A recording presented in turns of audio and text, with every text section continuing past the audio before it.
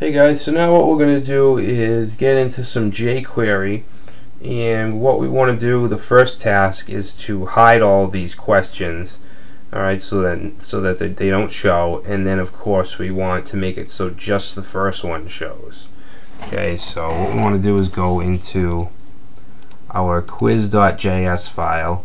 Now what we want to do is we want to use the document.ready function um, and what that does is it waits till until the entire page is loaded and then runs whatever we put inside of it. All right, and you, if you know any jQuery, you definitely know this. Uh, so in jQuery, we use the dollar sign to represent it. Uh, and then inside parentheses, we're going to say document, which is basically the entire object, the entire document object. And we're going to say dot ready Alright, now inside of this ready, we want a callback function or a self calling function. And then inside there is what we want to happen. Alright, so we can just say alert 1. And what this will do is when the DOM is ready or when the document's finished loading, it'll just give us an alert with the number 1 if it's connected, which it should be. So let's reload. Okay, so you can see that this is taking a while. Um, what I'm going to do is instead of using the CDN from jQuery.com, I'm just going to include it locally. Alright, so I'm going to go to jQuery.com. And this is what I usually do anyways. I don't typically use the CDNs uh, just for online, offline reasons.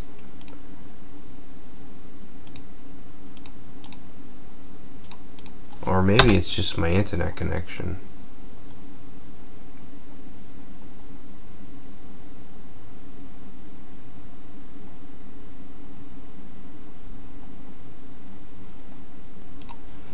And I'm going to click this download button and then download compressed version. And just copy this. And I'm just going to create a new document in my JS folder and I'm going to call it jQuery.js and just paste in that code and save it and close it. And then back in the HTML file, we're just going to include that instead of using this CDN link.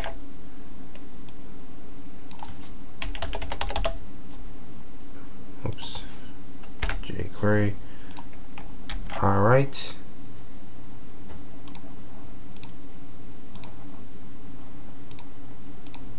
All right, so you can see that that's faster. So it gives us that alert one. All right, now what we want to do is we want to uh, make all of these questions disappear on, on the when the page loads.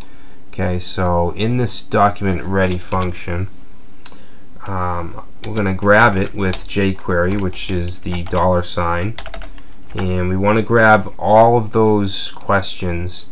Uh, if we look at the HTML, you can see that every form has a has a class called question form. So we're going to use that. Okay, it's a class, so we want to use the dot question form, and then we want to just say dot hide. Okay, and we'll just add a comment here.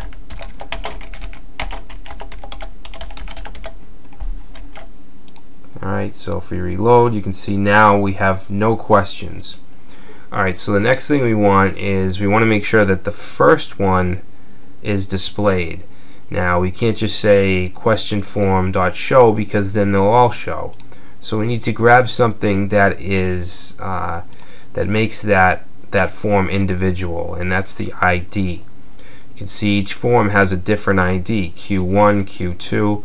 So we want to grab the, the form with the ID of Q1 and we want to display that. So back to the quiz.js, let's say show first question and we'll use jQuery and we're using the ID of q1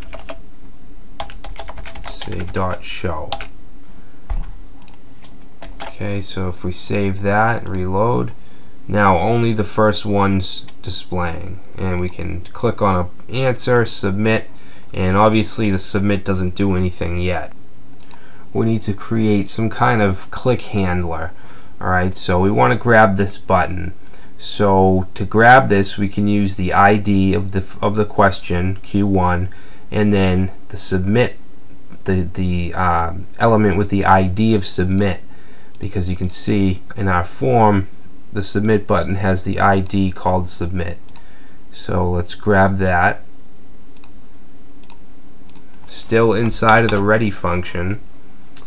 Um, let's say jQuery and we want uh, what do we want? The first question, so the ID of Q1 and we want the submit button. Submit. Okay, so now here we can say dot click Okay, click is a jQuery event. Whenever this element's clicked, we want it to do something. We want it to run a function, a self-calling function, and in that function we want to do a few things. Um, we want to make sure that all the questions get hid, first of all. So I'm just going to copy this line here. Alright, and that's going to include the uh, that's going to include question one but we we need question two to now be shown okay so we can do that with the ID of Q2 and let's make it show but let's make it come in kind of elegantly we'll use the fade in function okay which basically does what show does except it brings it in uh, kind of slowly and, and just uh, really elegant so we'll use that. And then for a parameter, we can put in the speed in milliseconds, which I'm going to use 300. Alright, so we're also going to have a function run here that's called process that will actually process the question and the answer to see if it's correct and all that. But we're gonna we're not going to do that yet. We're going to do that after.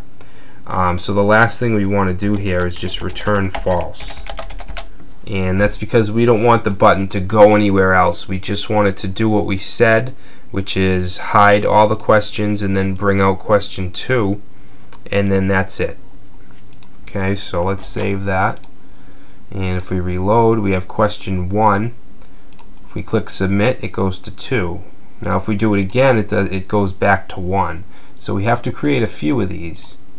Alright so I'm actually going to copy this. Now doing it like this isn't um, this isn't the optimal way to do this. Um, but it's the easiest way to explain um, later on in maybe not the next section but the one after that we're going to we're going to make this into a loop so that we can just put this code in the loop and run it instead of having these these um, five different blocks. Okay so if you know jQuery and JavaScript this probably doesn't look very good but I think it's the best way for a beginner to really understand what's going on alright so we have question one. Submit. Now we want question two submit so Q2 and remember we always want the one that's after it to, to come in on the submission. So we want question three to come in. Okay, and then we have three, and then we have four come in, then we have four, then we have five come in, and then we have five. Alright, now when question five submit is clicked, um, that's the last question, so we don't need to fade in any question. Uh, we actually want to fade in the results, which will be the results ID. Alright, so that looks good. Let's save this and make sure we can just go through our questions. Okay, so one, two, three, four, five. Alright, and we don't have any results to print out yet, but that's what will happen. Alright. Alright, so what we're going to do now is we're going to set some variables um, up at the top here. that we can use later on. Okay, so above the document ready function, let's create a variable called score, and that's going to be set equal to zero initially. Okay, I'll put in some comments here. We'll say set score to zero. We're going to have a variable called total, and that's going to be the, the total number of questions there are, which is five in our case.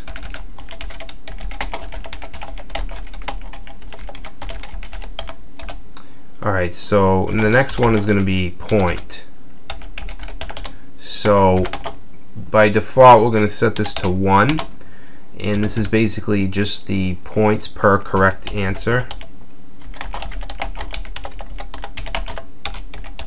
So if you wanted people to get two points per correct answer, you could just change this variable. Alright, now the variable called highest, this is going to be the highest possible score, which is going to be the total times the point. Okay, so in this case, the highest possible score to get is a 5 because 5 times 1 is 5. Okay, if we change this to uh, 10 and 2, then the highest possible score would be 20. Alright, so that's it for our variables. Now we need an initializer. So let's see. Initializer function init.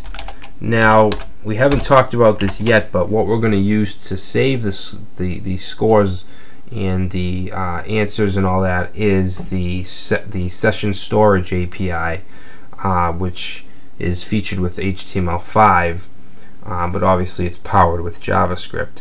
So we're going to set our correct answers right here because we need something for for our users' answers to compare to.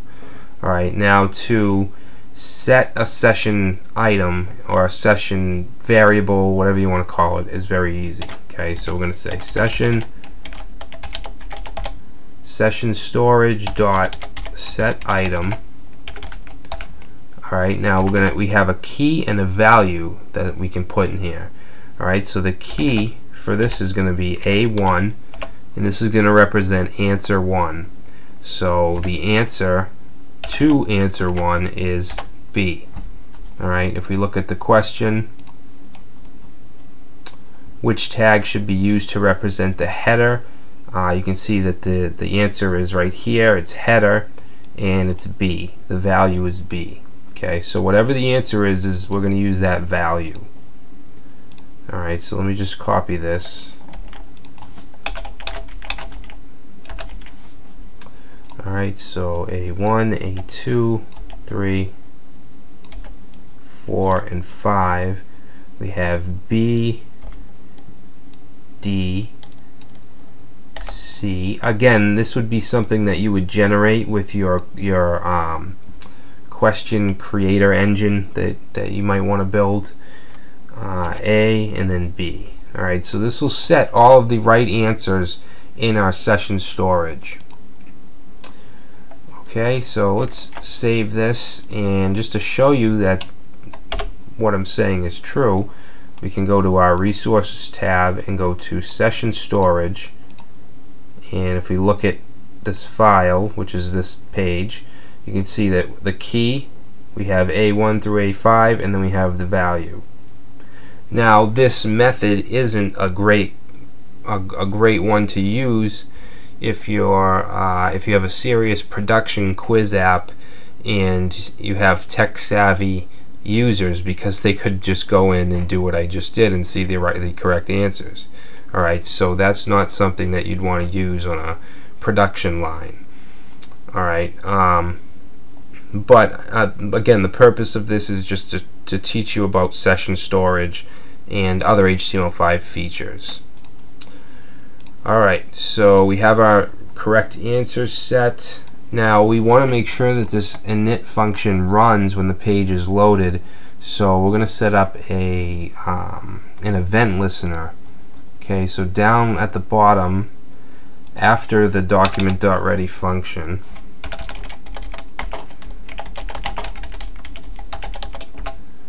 Alright, so what we want to do here is say window dot add event listener. Alright, now the first parameter is going to be the event we want to listen for, which is going to be load. Okay, and then we want the function that we want to run is going to be init. And the third one we're just going to set to false. Alright, so what this will do is it'll listen for the load event.